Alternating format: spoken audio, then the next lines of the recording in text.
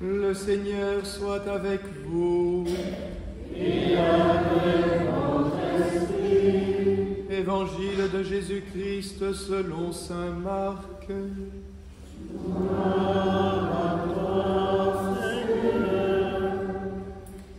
En ce temps-là, Jésus disait à ses disciples, Prenez garde, restez éveillés, car vous ne savez pas quand ce sera le moment.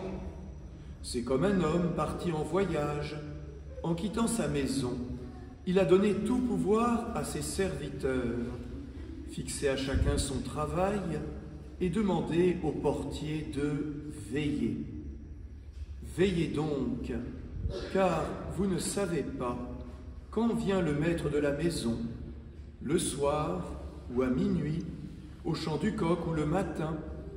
S'il arrive à l'improviste, il ne faudrait pas qu'il vous trouve endormi. Ce que je vous dis là, je le dis à tous, veillez. Acclamons la parole de Dieu.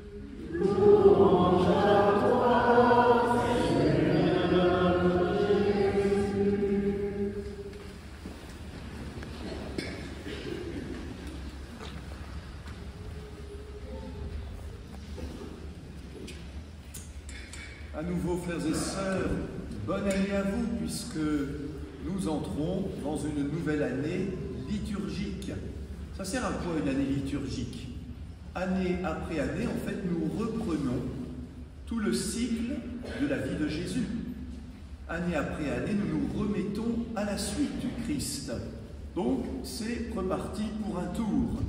J'espère que ce tour nouveau, ce ne sera pas pour tourner en rond, ce sera pour approfondir. Dans notre année liturgique, bien sûr, il y a deux grands phares. Le plus important, c'est Pâques. Avant Pâques, le carême. Après Pâques, le temps pascal, jusqu'à la Pentecôte. Ça, c'est vraiment tout ce qui est centré sur la mort et la résurrection de Jésus. Et puis, bien sûr, il y a l'envoi et la naissance de Jésus, Noël. Avec le temps de préparation, nous y entrons, c'est l'Avent. Et puis, il y aura un déploiement jusqu'à l'Épiphanie, parfois le baptême du Seigneur après Noël. Alors, avant, avant, avant, en avant. Avant quoi? Avant, après. Alors évidemment, on apprend aux enfants du catéchisme que avant ne s'écrit pas comme avant, après. A-V-E-E-N-T. Alors ça rime avec avènement, ça rime avec avenir, ça rime aussi avec une avenue belle avenue pour que le Seigneur puisse venir jusqu'à nous. Ce temps de l'Avent est assez subtil. Il entremêle un peu trois dimensions. Trois dimensions du temps de l'Avent.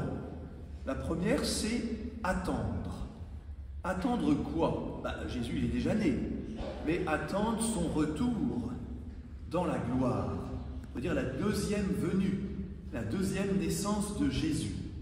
Et puis, pour bien attendre, ben, il faut nous préparer, purifier notre cœur. Il y a un petit côté carême de Noël dans le temps de l'Avent. C'est une des raisons pour lesquelles les prêtres, les célébrants portent des vêtements de couleur violette, comme au temps du carême. Et puis, on attend, on se prépare, on se purifie, puis également, bien sûr, on fait mémoire de la naissance de Jésus. C'est son anniversaire, après tout. Alors je demandais récemment aux enfants du caté pourquoi on fait un anniversaire? ils sont un peu grattés la tête, la question leur a paru étrange. Puis il y en a un qui a dit, mais pour être dans la joie, pour se réjouir, je lui ai dit bravo, tu as raison. Fêter un anniversaire, c'est d'abord redire qu'une naissance est une bonne nouvelle et que la naissance de Jésus parmi nous est une excellente nouvelle. Puis après j'ai posé une deuxième question, est-ce qu'on continue à fêter l'anniversaire de nos défunts, ceux qui sont morts? Alors certains m'ont dit, ah ben un petit peu. Ils ont fini par dire, ben non, au bout d'un certain temps, on se rappelle autrement.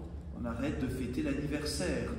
Aujourd'hui, ben vous voyez, puisque nous fêtons l'anniversaire de Jésus, c'est qu'il est vivant. C'est l'expression de notre foi. Jésus est vivant au ciel. Alors dans ce cas-là, pourquoi nous remettre avec le prophète Isaïe dans cette attente, cette attente qui est si longue. Isaïe, c'est 700 ans environ avant Jésus. Eh bien, on se remet dans cette attente parce qu'il n'y aura pas de Noël si nous ne l'attendons pas.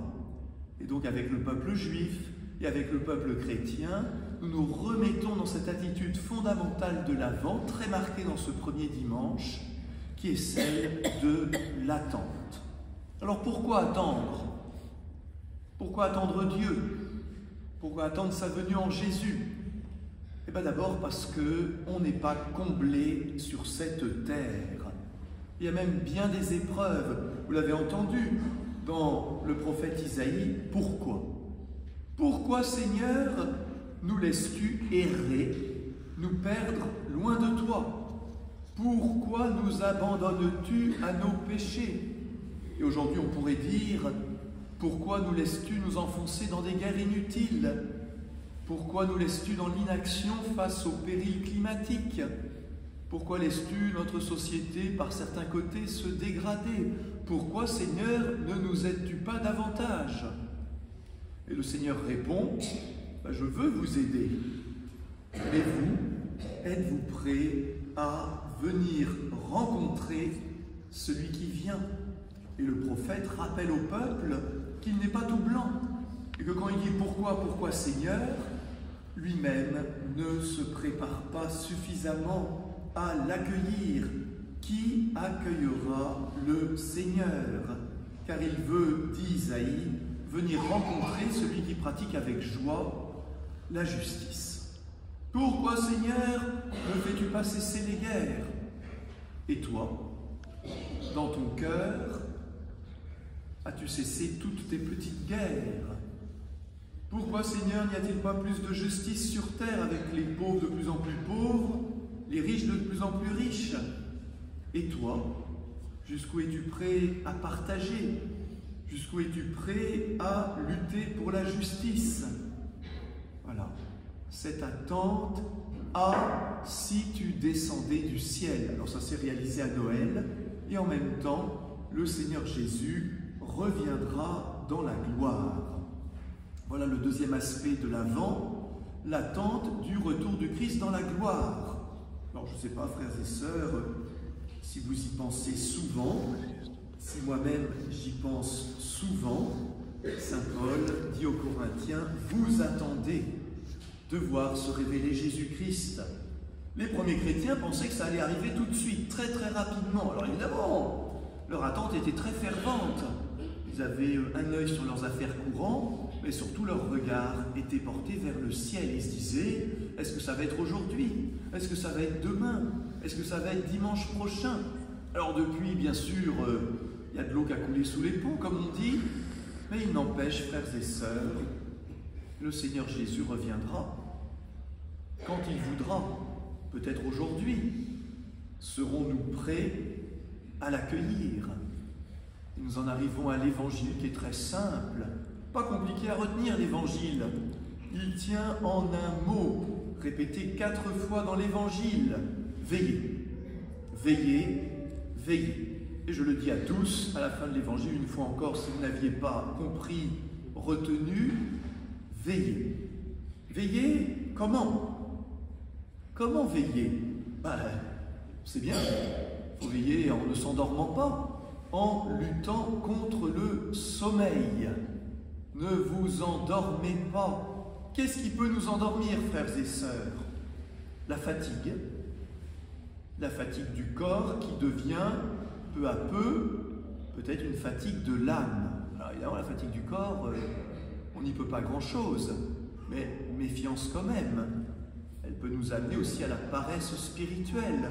Alors veillez, veillez même face à vos difficultés, vos maladies, vos fatigues. Qu'est-ce qui d'autre peut nous endormir? Ben, Peut-être aussi euh, l'impression que rien n'avance.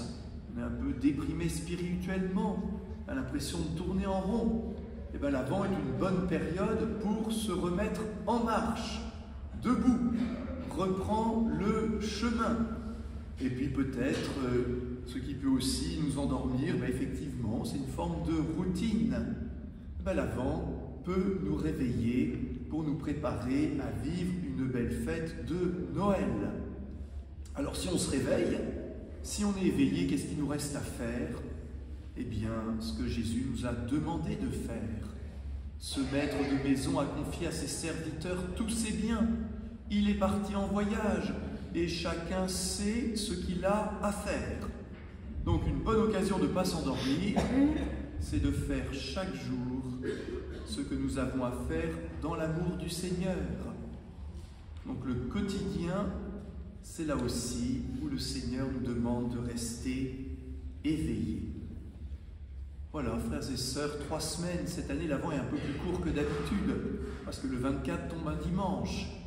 Donc euh, Noël va arriver à la vitesse d'un TGV, déjà lancé à pleine vitesse. Alors pour que Noël ne tombe pas dessus à l'improviste, comme le retour du Seigneur, nous avons trois semaines pour nous réveiller. Nous avons trois semaines pour réveiller en nous le désir de Dieu. Nous avons trois semaines pour réveiller en nous le désir d'être acteurs de paix et de justice. Nous avons trois semaines pour faire avec sérieux, avec ferveur nos tâches du quotidien. Et alors, la promesse de Jésus s'accomplira et la fête de Noël sera belle. La fête de Noël sera fervente. La fête de Noël sera joyeuse par la grâce de Dieu. Alors, frères et sœurs, bonne année, bon avant, en route.